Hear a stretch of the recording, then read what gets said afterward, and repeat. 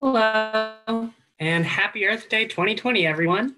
Welcome to this carbon pricing lobby training to celebrate the 50th anniversary of Earth Day. My name is Bobby Trice, and I'm the program assistant for Quaker Outreach here at the Friends Committee on National Legislation, or FCNL. FCNL is a nonpartisan Quaker lobby in the public interest. We advocate in Congress uh, to pass policies that reflect Quaker values, which include environmental stewardship. We seek that of God in each legislator, which is why our climate program is focusing on building bipartisan support for climate action in Congress. I will be the host for this event, and I am so excited to be here virtually to learn more about Earth Day, climate change, carbon pricing, and so much more. In this session, we'll be covering the significance of Earth Day, FCNL's climate program, and we'll conclude with a lobby training on carbon pricing. We'll start with 15 minutes of discussion between FCNL's Amelia Keegan and Alicia Cannon. Following the discussion, Alicia will facilitate a lobby training for y'all. In the final 10 minutes, we will open it up to the audience for questions and further discussion. If you have any questions or reflections to share during the event, please use the chat function, which you can find at the bottom of your screen on most devices. Um, without further ado, let's get started. Uh, first, I want to introduce Amelia Keegan. Uh, Amelia is the Legislative Director for the Domestic Policy and leads the Economic Justice Portfolio. Next, we have Alicia Cannon, the Program Assistant for Sustainable Energy and the Environment. Welcome to our panelists and take it away. Great. Uh, hello, everyone, and welcome. Thank you for joining us today. Uh, as Bobby said, my name is Amelia, and I am so excited to be celebrating Earth Day with all of you um, and for us to really turn this celebration into action. Hello, everyone. My name's Alicia, but you all can call me Leash. I'm so thrilled that you all showed up today and want to learn more about lobbying on carbon pricing. So, carbon pricing can definitely be wonky and confusing, but I know after this hour, you will feel so confident lobbying your members of Congress.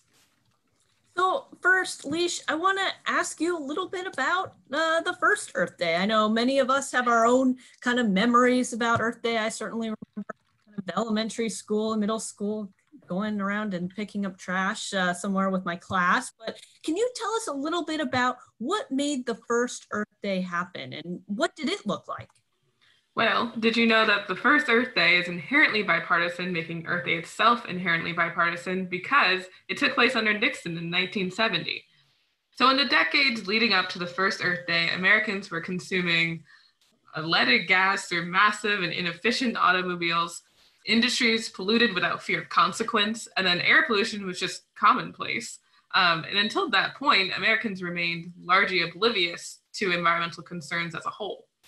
So Earth Day founder, Senator Gaylord Nelson, came up with this idea for a national day to focus on the environment after he witnessed the consequences of a massive oil spill in Santa Barbara, California in 1969. So he was inspired by the student anti-war movement at the time. Senator, Senator Nelson realized that if he harnessed the energy behind the anti-war movement and transferred it to air and water pollution, it could bolster the environmental movement to the national level. And he picked April 22nd as Earth Day because it fell between spring, spring break and finals, so students could participate. So on April 22nd, 1970, 20 million Americans, and that was 10% of the population at the time, that's crazy, demonstrated for a healthy, sustainable environment in a massive coast to coast rallies, including thousands of colleges and universities. So this first first Earth Day alone led to the creation of the United States Environmental Protection Agency, the EPA, and the passage of landmark environment, legis environment legislation such as the Clean Air Act, the Clean Water Act, and the Endangered Species Act, three huge pieces of legislation that we still depend on today and protect. Wow, thanks, Leash. So know that FCNL has some really passionate advocates who live out the values underlying Earth Day of stewardship in so many ways. So I wonder if you could maybe highlight a few stories uh, about how climate advocacy has changed over the years. Yes, there are some great stories. So first I talked to Bob Schultz, who has been an FCNL advocate for over 30 years. It's crazy. That's older than I am. Um, and he shared with me some articles that he has written over the previous years about Earth Day. And at 84, Bob remembers the first Earth Day in 1970. And his first reflection was that the actions he took then seem so small compared to what needs to be done now to address climate change and stave off the worst consequences. And then I talked to former FCNL Executive Secretary Joe Volk, who told me about how the first green building on Capitol Hill came to be. Spoiler alert, it's our building. Um, his story, while entertaining in its own right and left me at the edge of my seat, and I knew what happened because we work there, um, it had a bigger message that I was not expecting the building had an advocacy effect on the Hill and beyond the Hill. Joe said that once word got out what this little organization on Capitol Hill did, other renovations and building projects imagined what they could do. More than a decade later, FCNL's 245 building is a LEED certified building with a platinum rating, which is the highest rating a building can achieve. So we practice what we preach. And then I talked to a very obvious choice, FCNL's former legislative manager for sustainable energy and environment, Emily Wirzba. And as someone who has worked in environmental advocacy for seven years, she has seen a true shift in how climate change and environmental issues are elevated by both the public and our policymakers. We have transitioned from urging members of Congress to acknowledge that climate change is real to trying to make steps towards addressing the climate crisis.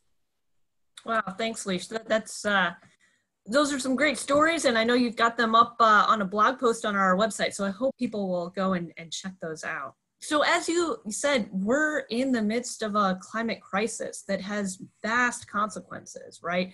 Climate change affects so many parts of our lives. It's a public health crisis, it's a human crisis, and it's a financial crisis. So this crisis is so large that the Earth Day network dedicated this year's Earth Day to climate action. So, how have you climate action changed since you started at FCNL?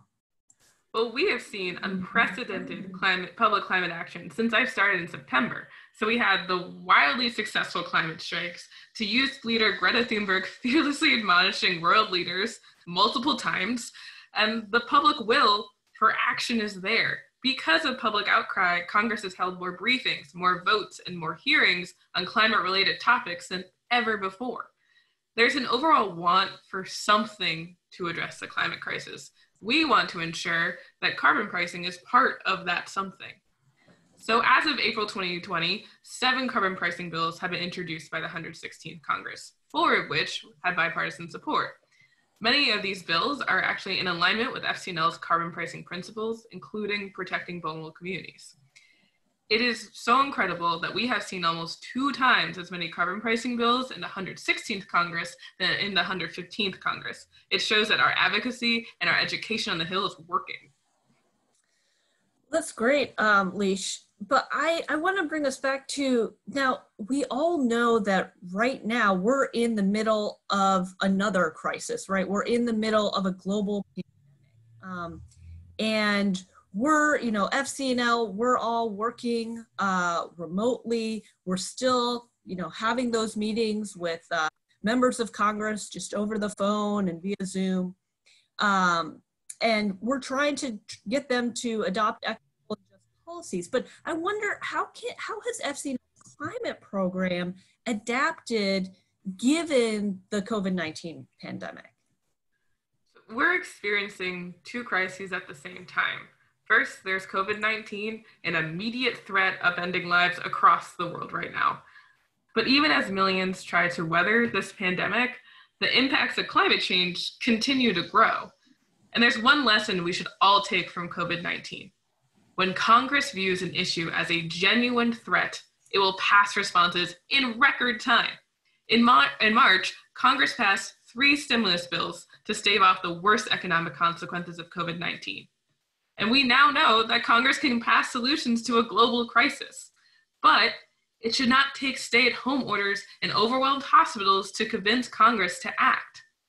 We cannot wait for the climate crisis to kill thousands from air pollution or displace millions of climate ex- displace millions because of climate exacerbated, exacerbated events. And then we have a refugee crisis on our hands. Congress must address the climate crisis before we reach catastrophic consequences, not after. And we need to let Congress know that we, we care, we're still here. Just because we are under stay at home orders does not mean we have to sit in silence We can still use our voices to make change. I have lobby visits over the phone. Coalitions are meeting over Zoom. We're working to ensure that we recover from this dreadful time in a sustainable way. So, as some of you might have heard, we still had our spring lobby weekend, except we just moved it to a virtual format. This past March, we had two and a half weeks to transform an in person event into a virtual experience for young adults. But thanks to the tenacity of 500 amazing young people from 38 states, the virtual event was a huge success. We completed over 130 virtual lobby visits with congressional staffers. It is easy to be immobilized by fear and anxiety in times like these, but hundreds of young advocates decide to channel their anxiety into climate action. And I'm still following up on their lobby visits. It's just, it's incredible. Thanks, Leash. Well, and certainly thanks to you and, and everyone who was a part of Spring Lobby Weekend. That was just such a successful event, especially given everything that else that's been going on. Um, I want to go further a bit into kind of what we're experiencing right now in this moment. You know, we're all kind of um, our our lives have changed dramatically in the midst of the COVID uh, COVID nineteen pandemic, and certainly uh, we're seeing just in the midst of something so catastrophic for our society and for the entire world. Um, in the midst of all of why is it important that we advocate for a solution to climate change right now? Well, like I said above, we're experiencing two crises at the same time, and these crises of the world are interconnected. We know, for instance, that people of color are disproportionately subjected to air pollution, increasing their risk of cardiovascular and respiratory disease. And we know that underlying conditions like these decrease the, the body's ability to fight COVID 19. And then, tragically, vulnerable communities are frequently situated in medically underserved areas. So when we lobby for equitable and just climate policies, it trickles down into every aspect of our lives. The climate crisis still looms as we deal with this unprecedented public health crisis. But we cannot forget the progress we have seen recently and how far we need to go. We also know that 2021 is the earliest possible window we have to actually pass meaningful climate legislation in Congress. But even then, um, we'll most likely face a divided Congress. So bipartisan support will be crucial for climate action. Therefore, we believe that right now in 2020, we is 2020 is a critical time for climate action. What we do in 2020 will determine what is possible for 2021. So 2020 is the time to build relationships with our elected officials and educate them on why carbon pricing is the most cost efficient way to reduce our emissions at the scale and speed that is necessary.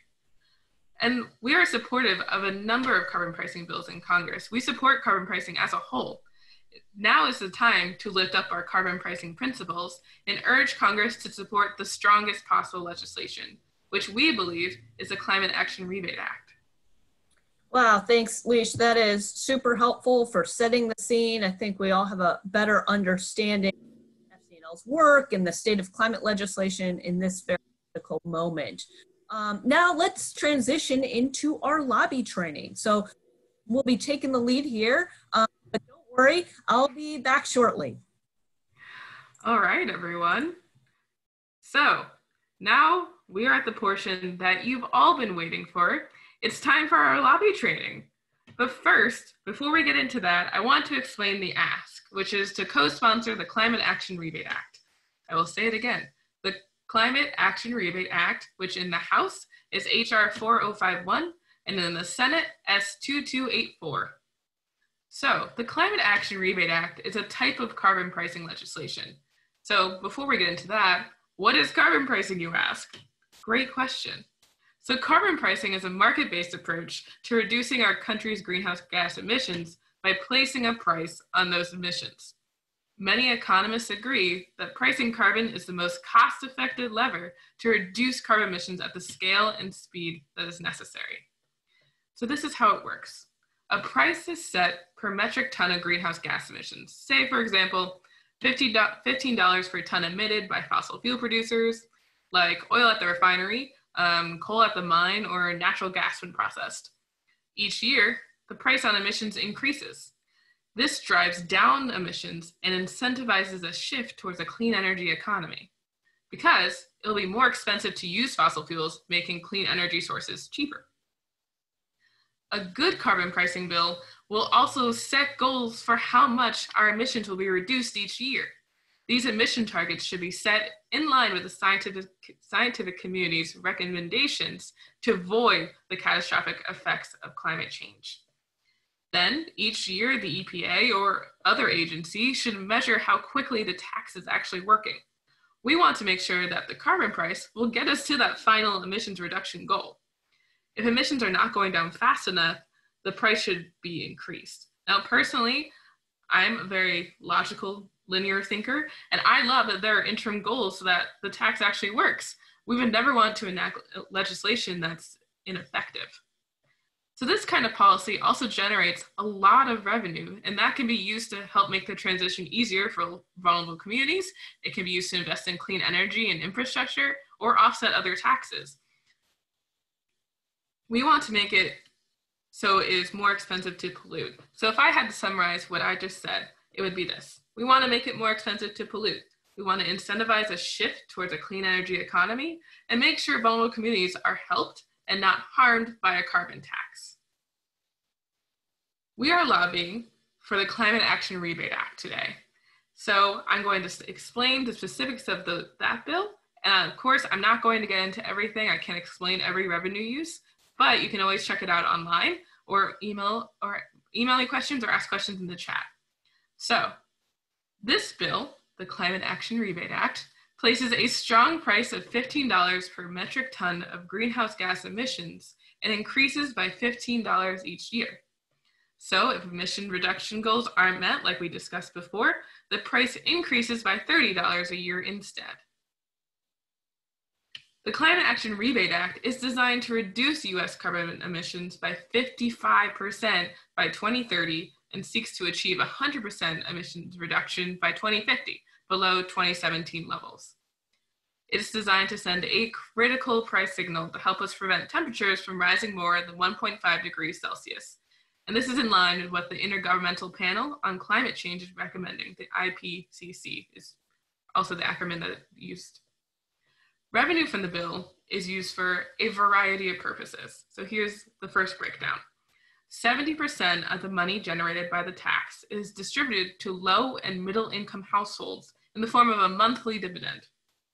20% of the revenue goes to fund infrastructure, 5% funds clean energy, research development, and the remaining 5% funds transition assistance for fossil fuel workers and those disproportionately affected by high energy costs.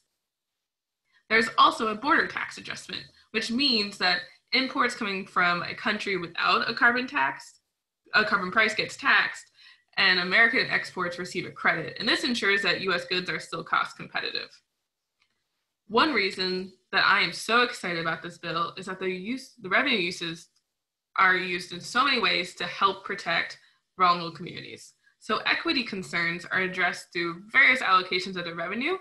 For example, coastal resiliency, hospital and health center climate resiliency, clean drinking water, cleanup of Superfund sites, reforestation, weatherization assistance and financial assistance for low income households to pay energy bills, rural flood prevention, and transition assistance for fossil fuel dependent workers. And that can include um, wage insurance, pension and health benefits, early retirement, and job retraining.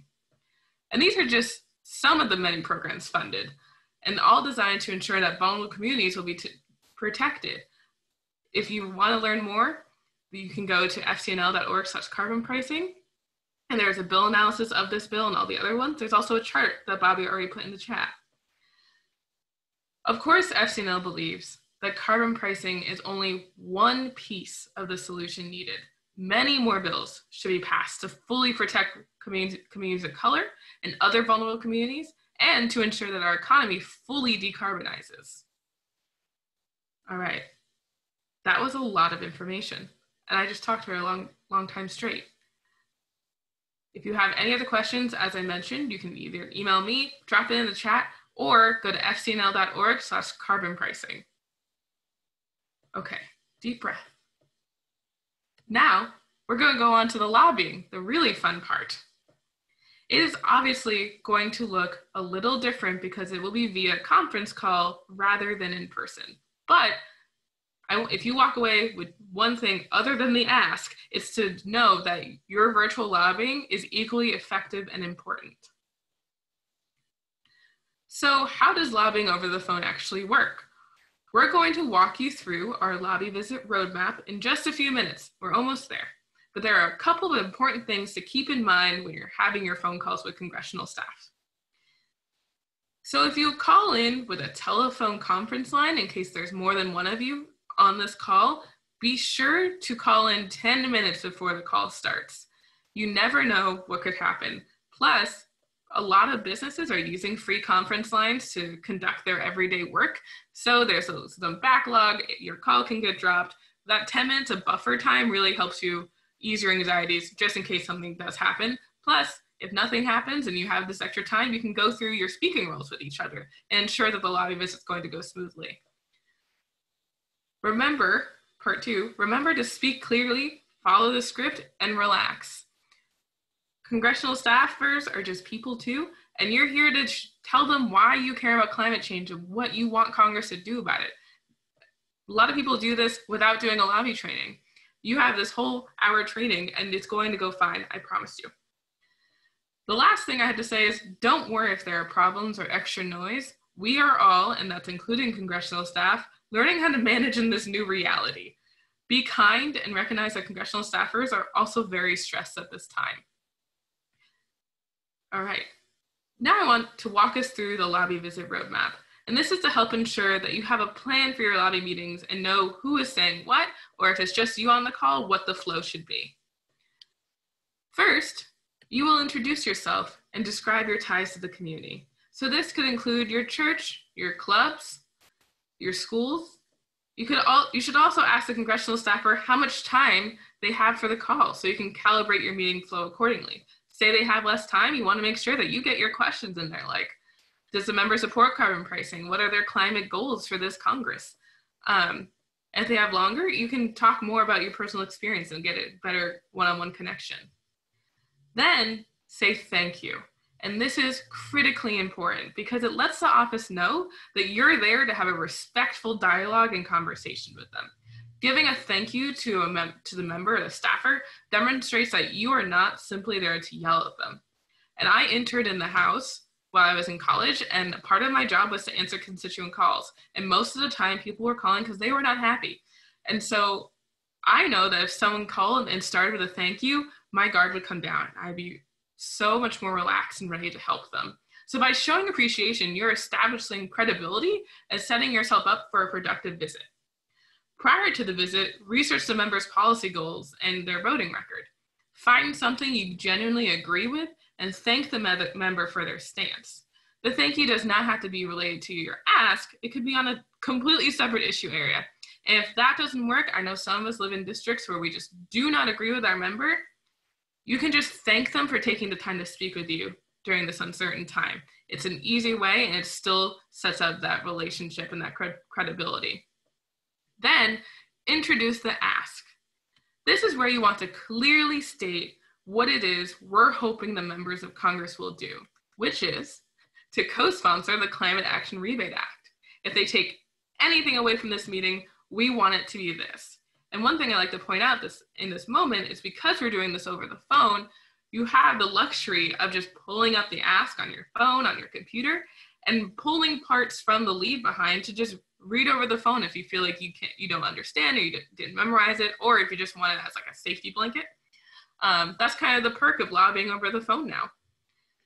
So after you introduce the ask it's time for you to share your own personal stories about why they care about climate change you might be wondering why fcnl suggests sharing stories rather than numbers and figures so as constituent lobbyists our stories are the power we have when we talk to a congressional office you do not have to be an expert in the policy in order to be an effective lobbyist. Your story is uniquely yours. A staffer cannot discredit your experience or how you were feeling in the moment of that story. And plus, stories connect you and the staffer on a human level. The staffer can relate to what you are feeling. So, your story is the answer to this question What is motivating you to advocate to address climate change? So, the answer could be a, a multitude of different things, and it could be a story that connects with your identity. For example, as a young person, as a student, as a Quaker or a person of faith, or as a person of color a story that reflects the need to advocate at this moment, the urgency of this moment. We have less than 10 years to address climate change. Or it could be a story about community impact, like a hurricane or climate exacerbated event. And at the end, you need to make sure you tie it back to them co sponsoring the Climate Action Rebate Act. So I have found, especially in preparation for Spring Lobby Weekend, that people have a hard time getting a story about climate change. And so I always joke that my first, my go to story is my easy story because I was affected by climate change firsthand. I'm going to share it with you now. Ready? See. In hindsight, my climate change journey started amidst the aftermath of Hurricane Sandy in 2012. Hurricane Sandy blew through New Jersey, leaving destruction in her wake, including my family's house. A 100 year old oak tree had landed squarely over my bedroom, and I will never forget the sound the tree made, leaving a massive dent in our home. Seven additional tree down trees on our street left us stranded for, from civilization for 15 days, and we were left without power for 15 days. At the time, I did not relate this experience with climate change. I did not find it odd that exactly a year prior we had experienced a substantial blizzard, and this was the second year in a row that Halloween was canceled due to inclement weather. I was facing the effects of climate change before I had even call it, come to call it by name. If we do not drastically reduce our greenhouse gas emissions, more climate exacerbated events will continue to ravage our state, our nation, and the world. And that is why I hope that your boss can co sponsor the Climate Action Rebate Act of 2019 as a way to reduce our greenhouse gas emissions and address climate change. And that's it. Very short. I always suggest keeping it under two minutes. Um, if you're the only one on the call, it could be a little longer, but you don't want them to zone out. Um, notice that I did not mention any numbers or figures. And I did this I did this on purpose to show you that you can really lobby with an emphasis on your story as opposed to anything else. This does not mean that you should not insert some of the facts and talking points I'm giving you today. Please do so if you feel so moved. But don't be nervous if you forget something. That's also why we have a leave behind with more detailed information that you can all email your congressional offices when you lobby. After your story, there's a chance to ask follow-up questions to the staffer. So you can ask, ask things like, does a member of Congress support this bill? Or carbon pricing more broadly? If not, why not? What strategy, strategies does a member support to address climate change? And does the member hear from the constituents on climate change often? These are all great questions that I ask in my own lobbying, and it, they're really helpful to get a frame of reference of where the member is on this issue. And be on the phone, remember to prompt the staffer to ask questions of you as well.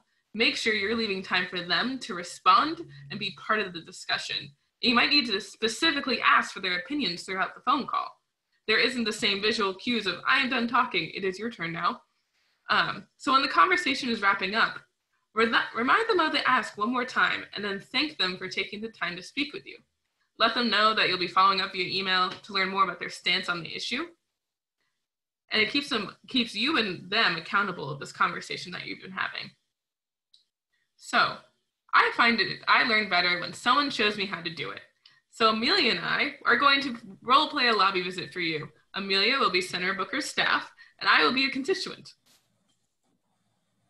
And Seed, all right. Okay. Uh, let's uh, uh, start. Go ahead, Alicia. All right. Hi, Amelia. This is Alicia Cannon. How are you doing today? Hi, Alicia. I'm doing all right. You know, things are really busy here. So we're dealing, doing a lot dealing with COVID 19 and everything's really uncertain, but um, we're adjusting, you know. Yeah, well, I really appreciate you taking the time to speak with me today with everything going on. Um, my name is Alicia, and I'm from South Brunswick, New Jersey. I'm here as a constituent of the Friends Committee on National Legislation, the Quaker Lobby, And I'm very active in my local church, St. Augustine's of Canterbury and Kendall Park, and I'm an avid environmentalist. Before we get started, um, how much time do you have to speak with me today? Oh, thanks for asking. You know, it's it's crazy busy, so I've got about 15 minutes, but thank you for checking. Oh, great. Well, first, I want to thank the Senator for introducing the Environmental Justice Act of 2019, and I really appreciate his leadership on this important issue. I'm so glad you mentioned that. Yeah, Senator Booker is really passionate about supporting frontline communities. Well, the bill I'm talking about today has many provisions to protect vulnerable communities. I would like Senator Booker to co-sponsor S2284, the Climate Action Rebate Act of 2019.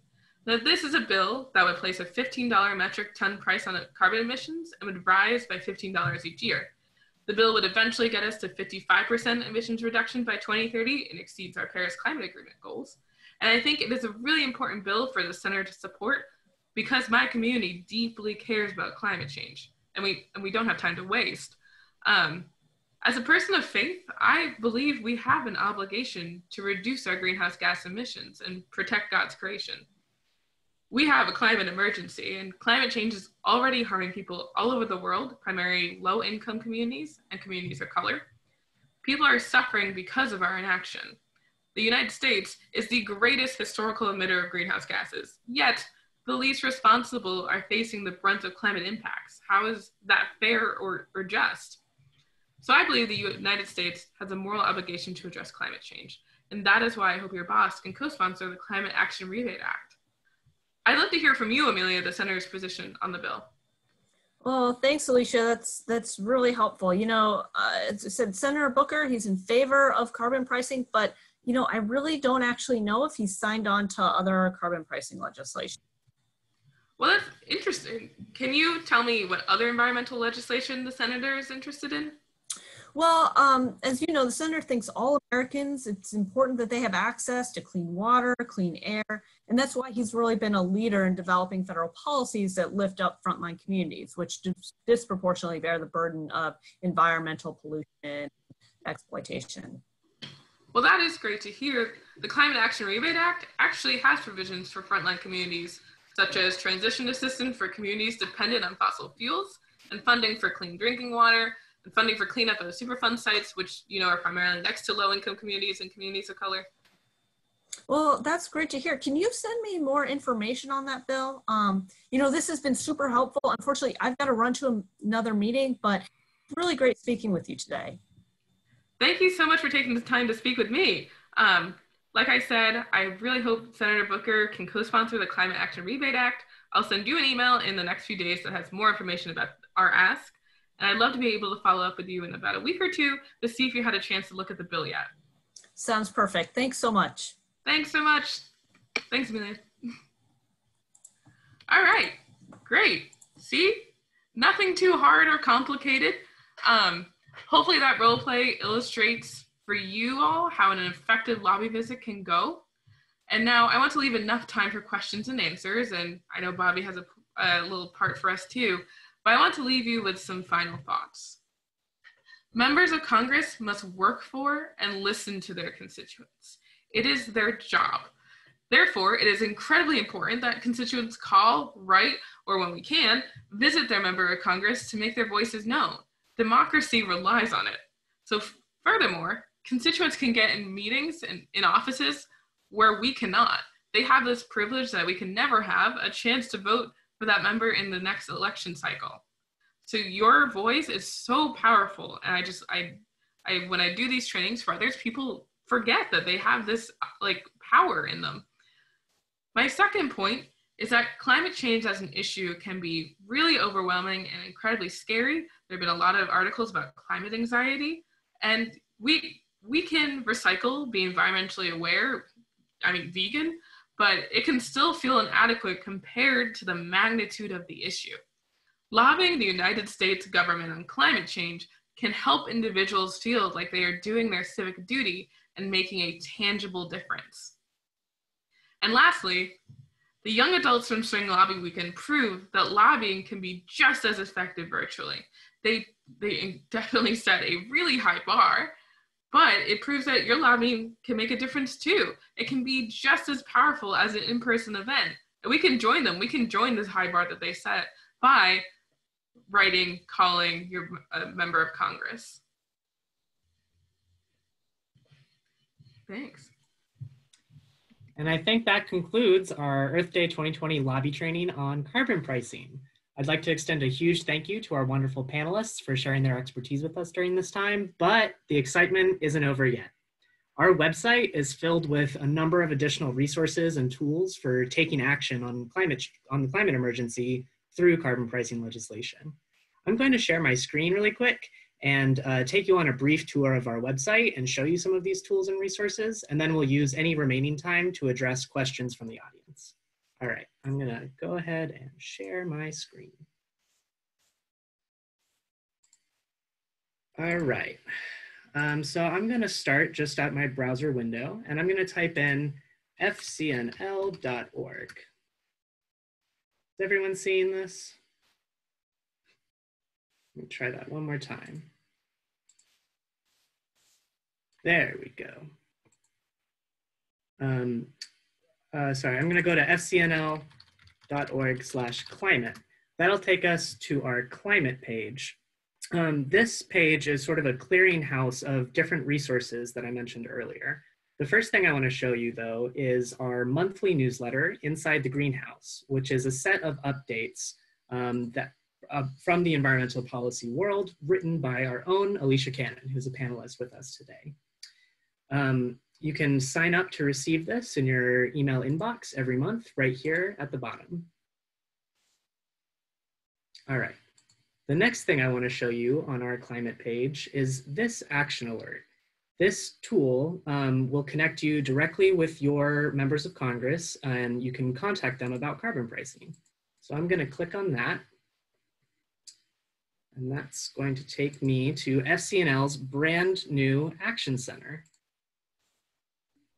Um, and here we have uh, a form email template that FCNL has prepared for constituents to modify just a little bit because we know from research done by the Congressional Management Foundation that the more you personalize a form email like this, the more impact it actually has. So I'm gonna personalize this just a little bit by changing the subject line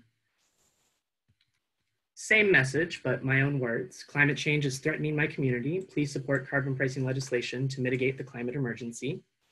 And then I'm just going to paste in a paragraph that I prepared using my own story, my own experience uh, being impacted by climate change uh, since I grew up in Northern California and wildfires were a really big part of my experience growing up. So I use that as my personal experience with climate change to really show the human face of why this issue is so important to me. And then I'm ready to hit submit and that'll send it off to my DC representative, Representative Norton, but for you, based on whatever address you put in at the beginning, uh, it'll send it to your representatives. All right, and the last thing I wanna show everyone is um, our new guide to virtual lobbying, which you can find at fcnl.org slash actlocal. This is just a very brief guide um, that summarizes some of the points that Alicia and Amelia made today on how to prepare and gather for your virtual lobby visit and how to plan and actually conduct your lobby visit. And we have a number of additional resources down here on this page, like the lobby visit roadmap that Alicia walked us through so expertly during this lobby training. Um, our links to a number of our lobby asks on the different issues we work on, a link to our lobby report back form, which you can use to let us know how your meetings went, and finally a follow-up email template that you can use to stay in touch with the office you lobbied. And uh, if you liked what you heard in this lobby training today and you're ready to take your next advocacy steps and go on a virtual lobby visit, you can fill out this survey page called I'm Ready to Virtually Lobby and uh, an FCNL staff lobby trainer will be in touch with you shortly to help you prepare for your lobby visits. And uh, I think with that, we have time for some questions from the audience. So I'm going to stop sharing my screen and invite our panelists uh, back on to answer some questions. Hello. All right, I've been reading some of the questions and I'm starting from this first one that I think is really interesting. So, uh, and if I mispronounce your name, I'm so sorry. Um, Elaine Emmy asks, how can we reverse what the president is doing by removing environmental regulations?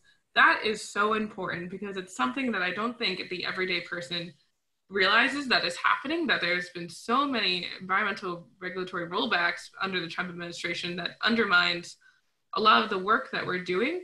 So how can we reverse what the president's doing? I don't, us on this call, I don't know how we could do it. However, one of the biggest things that you can do is educate everyone on this issue that the um, inefficient light bulbs, the car efficiency standards, methane regulations, and most recently, this mercury, mercury regulatory rollback, all of them are just chipping away at these really important environmental regulations that we have in place under the EPA.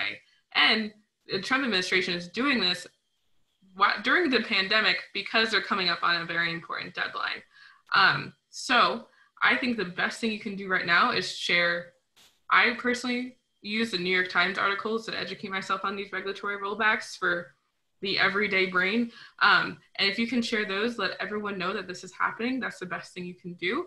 I know there are some letters going around the Senate um, from Senate Democrats who are expressing their concern over the, the constant chipping away environmental regulations.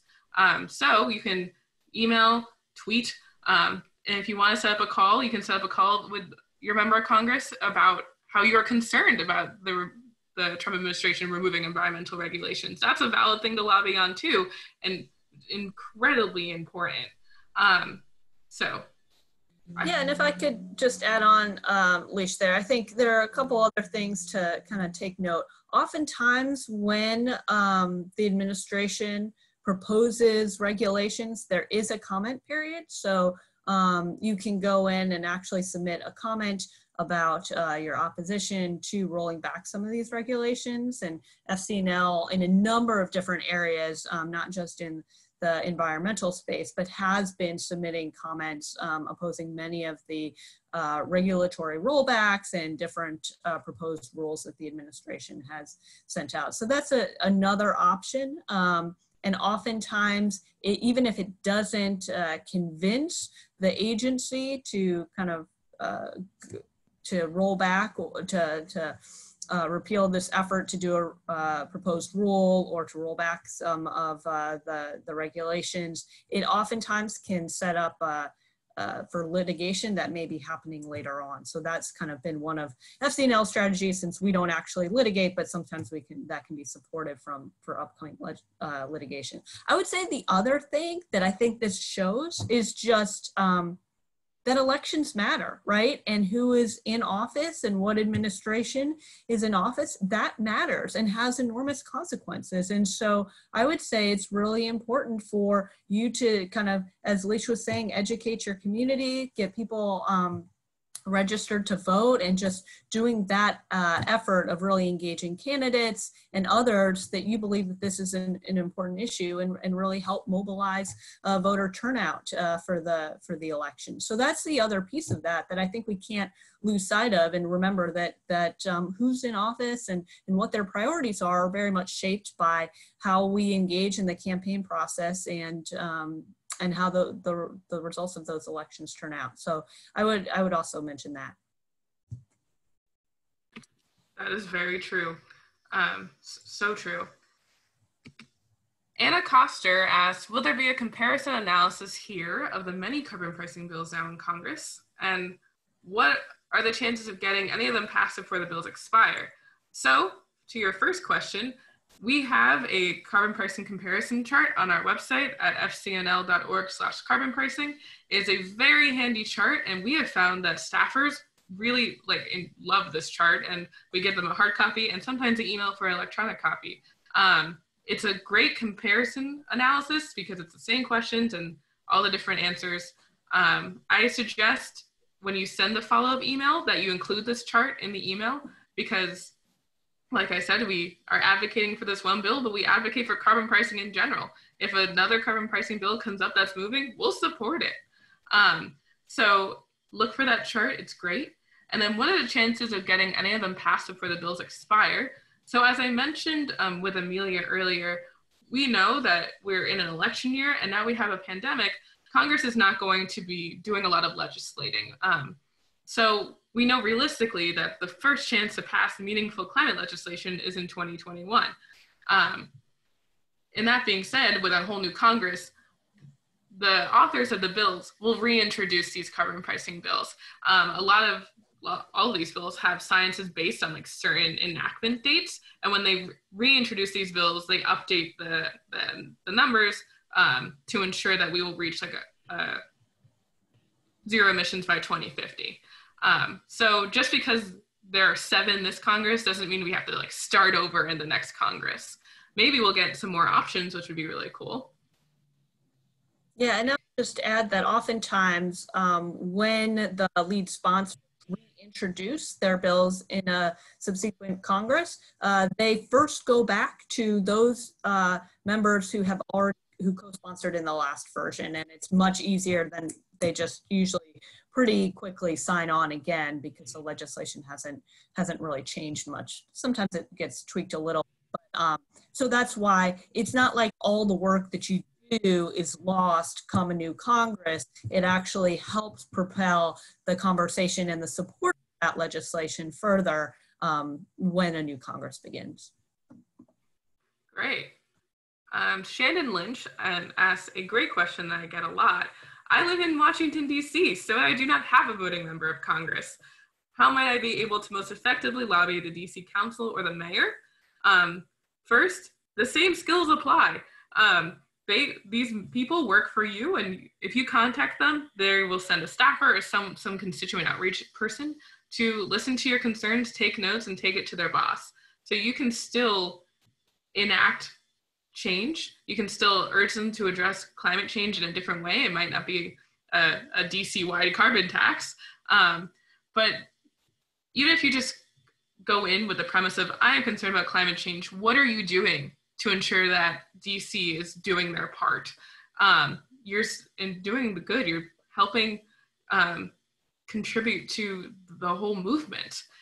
Another point I'd like to bring up as a DC resident, um, you can lobby in the place you used to live.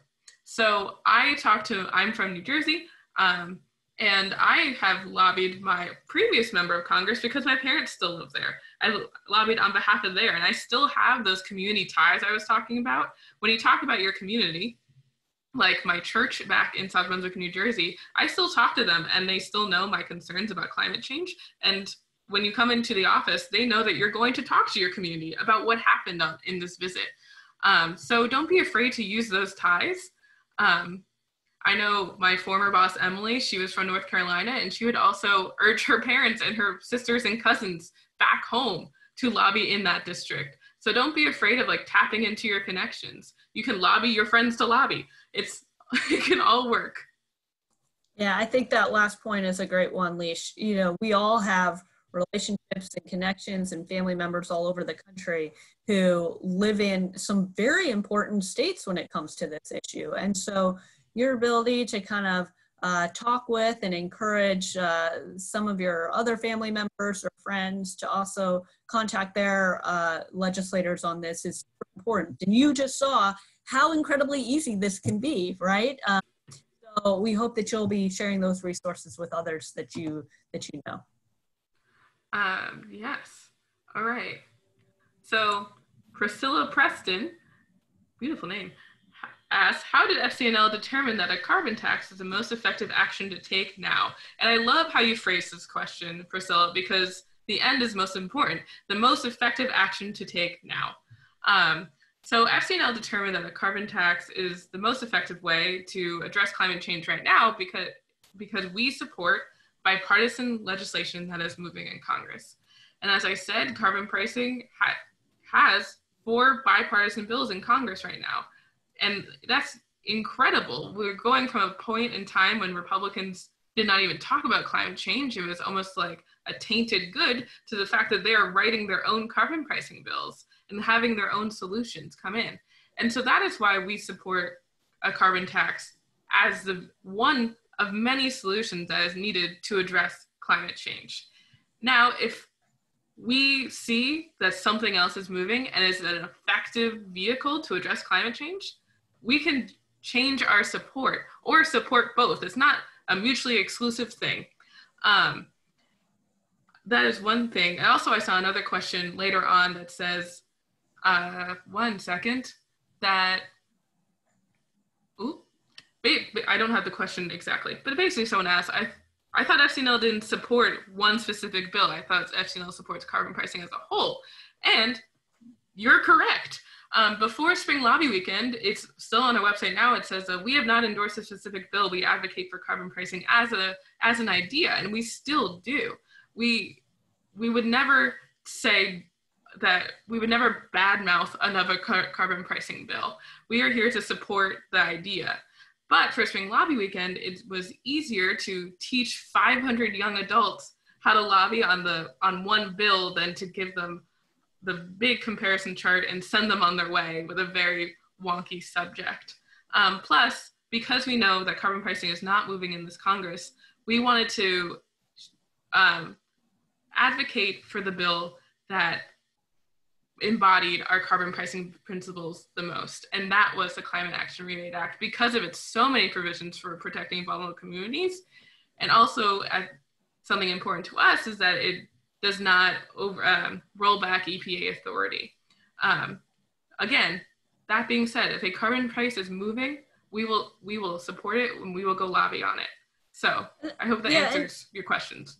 Yeah, and I uh, just to add on to that, I think you know we always see this in legislation, right? When you're when there there builds an agreement that action needs to be taken to address an issue, right? And so we're building up that bipartisan support. But when we come out and we're saying this is one of this is how we think a carbon a price on carbon should be structured, we want to start out by saying by going with what we think is the best option. And then as momentum builds and you start seeing those negotiations move forward and there's um, movement in Congress, then we start to see compromises being, being made and that sort of stuff. But we want to start out with our principles and supporting kind of the legislation that we think is most effective. So as Leash said, that's why we're kind of holding up the legislation that we're holding up while still saying, listen, but we support uh, all of these different um, carbon pricing bills and would like would be happy to see any of them enacted. So that's kind of what our position is on that. Thanks, Amelia. That was incredibly well said. Um, so another question from Priscilla that I think is really important. Um, what is the most memorable story you've heard? Um, and I'm also going to tie it into another thing. Trying to get an idea of what the idea about what kind of story is effective. Um, so I don't think first that they're like ineff- ineffective and effective stories. Like they all are your are your story, and they're going to tell your connection to the issue. Um, I think one of the most memorable stories I've heard was this. I had a, a, a person from Ellicott City, Maryland, um, where they had two 1,000 year floods in two years. So they rebuilt after the first year, 1,000 year flood, thinking this could never happen again. This incra- insane rainfall would never plague this town again. So they rebuilt this beautiful city. It, I saw pictures. It's very quaint and like had family run stores and people put their life savings into it. And then less than two years later, they had another thousand year st- storm that flooded the town. And this had never happened. And people were left deflated and defeated, and they don't know what to do. They don't know how to plan their city. They don't know what kind of construction pro- projects or resiliency plans they should have in place. Everyone's arguing over what is the best best thing to do. But this person just wanted the federal government to acknowledge that this is happening and people are suffering, and that these climate exacerbated events are not just happening over there, is what I like to say, like in the Pacific Ocean where islands are sinking. That doesn't affect me. I don't see that every day. But for her, this was happening in her town in Maryland, not far from DC. Um, so that was, I was so, so moved from that story. There's a lot of articles online about this city if you want to look into it. Um, that was very moving. But one story I like to tell, I'm so sorry to people on the call who hear this all the time. Um, I had a group of 30 middle schoolers lobby their member of Congress from Virginia, and it did not go to plan. The member of Congress could not come because of votes being delayed. Um, and so the kids were defeated they still got to lobby the environmental staffer and they had handwritten letters to give to the, the member of Congress that she promised to pass along to him. Um, and we left. I kind of had to cheer the kids up because they were so excited to meet their member. Um, and we were hoping that at some point he could meet them. And it was kind of an almost an empty promise. But then two days later, the member of Congress did what the kids asked him to do, which is to join the Climate Solutions Caucus. And long story short, he ended up visiting them at their school too and answering all of their climate questions. Um, so I always love telling that story because people are always think, well, I can't lobby, I don't know enough, or this is scary, or sometimes we get like the deer in headlights because like it's Congress. Um, but it's it's not. They're here to serve you. And if 30 12 year olds can move their member of Congress to do something, you guys definitely can. They didn't join this call, they just had an hour of me talking. Um, so remember that you've got this, and even virtually, you still can do this and have an effective lobby visit. I love that story, Leash, and I think um, it is a real testament to the, the power of, um, of kind of lobbying and, and how effective that can be no matter what your age or, or anything. I, you know, just to add on, I, I think there are two things that I would say are can be really particularly effective when you're thinking about your story. And, and it really comes down to you are a constituent in the community of which that senator or um, representative represents, right? So you know what that district looks like. You know the different industries. And so a lot of what's going to be most um, persuasive to a particular member is based on what the community looks like and what the community needs are. So if you're in an agriculture heavy district, maybe that sort of lens of through how climate change is affecting car, uh, farming and farming communities. You know, so thinking about those sorts of things, uh, I, I, think can be helpful uh, in terms of how you're shaping or thinking about your story. And of course, because you're in your local community, you're in the best position to talk about that. I think the other thing that is really kind of persuasive is less about the actual story and more about the fact that you are a voter and you talk to other voters, right? That is members of Congress, oftentimes, usually their number one priority is getting reelected. And so the fact that you talk about the relationships and how you're the organizing or the work that you're doing or how you're engaged in your community and talking with other voters about this is an important thing to mention. So those are the two points that I would just add on to what Leash said. All right, we have time for one last question before we wrap up. And Kathy asks, uh, what are the main reasons carbon pricing might not be supported in Congress? And I think this is a great question and it kind of plays into how you can spin carbon pricing or climate change legislation to fit the needs of your district. Um, so carbon pricing might not be supported in Congress for two main reasons. Um, for the farther the right side, some things we hear a lot is that they don't want something that destroys the economy. Well, it has been proven by many economists, in fact, 27 Nobel Prize winning economists, that carbon pricing would not ruin the economy, is actually the best way to address climate change. And you can play on that market based approach lens when you're dealing with that. We actually had a, a, a panel at Spring Lobby Weekend that was called the conservative, the conservative side of carbon pricing. Anyway, I forget the name, but you can find it online and it gives you some great talking points to talking to conservatives about carbon pricing. And then another thing we hear is that it doesn't, carbon pricing might not do enough. It doesn't go far enough. And that's why we say that carbon pricing is one tool in a huge toolbox needed to address climate change. It is not the silver bullet. We are not saying that climate change, uh, carbon pricing is the thing to solve climate change. We just think it is the first step that Congress can take to start reducing our greenhouse gas, gas emissions and make a massive dent in the journey that we have to take.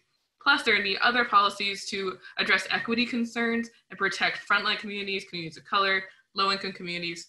So, those are some things that we hear on the Hill. Um, and before we end, I just want to say thank you so much for joining from me, from Amelia, I know, um, and thank you for taking the time and spending Earth Day with us.